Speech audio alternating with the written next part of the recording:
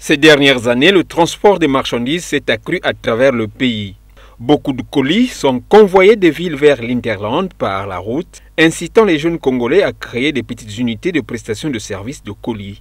Mais cette bonne initiative est l'objet d'un manque de formalisation et de formation dans un secteur de transport en perpétuel essor, l'incidence du risque étant minimisée par ces prestataires.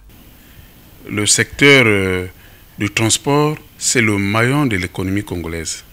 Donc ces jeunes-là, ils courent des risques en ouvrant ces secteurs sans être formalisés.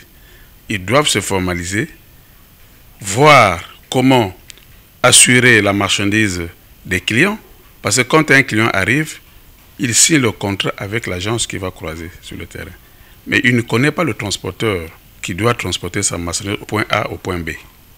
Donc, pour sécuriser ces clients-là, ils doivent se formaliser pour assurer leur dépôt, les entrepôts qui le chargent, qui le mettent la marchandise des clients, ça doit être assuré.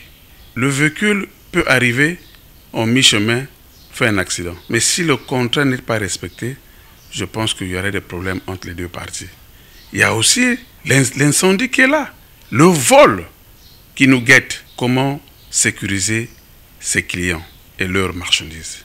Par ailleurs, ces structures de prestation de services dans le transport assurent, sans le savoir, le rôle de courtier en transport. Une sensibilisation sur leur initiative est à envisager. Dans ce secteur, il faut qu'il y ait une campagne de sensibilisation envers ces jeunes qui sont œuvrer dans le secteur. L'agence de la création des entreprises, il doit aussi s'imprégner pour accompagner et sensibiliser ces jeunes ensemble avec euh, le syndicat de transport. Parce que s'il n'y a pas la communication envers ces jeunes, l'État aussi un peu responsable et les groupements des transporteurs parce qu'ils doivent se formaliser, mais en passant par la sensibilisation. Donc l'État doit appuyer et accompagner ces jeunes entrepreneurs.